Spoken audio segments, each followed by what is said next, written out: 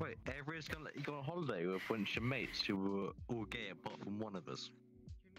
No, I mean I'm just saying that I'm going to visit. Avery's coming for Christmas, and then I'm going for New Year's, and they're definitely gonna peg me one of those times. Damn.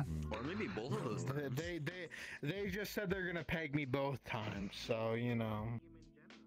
Does Avery really get a kick out of pegging you? Yeah, I mean it's like a power thing, and I'm I'm the submissive, you know. I mean, I know you're submissive. Don't you fucking worry about that. Yo, just tell me that, mate.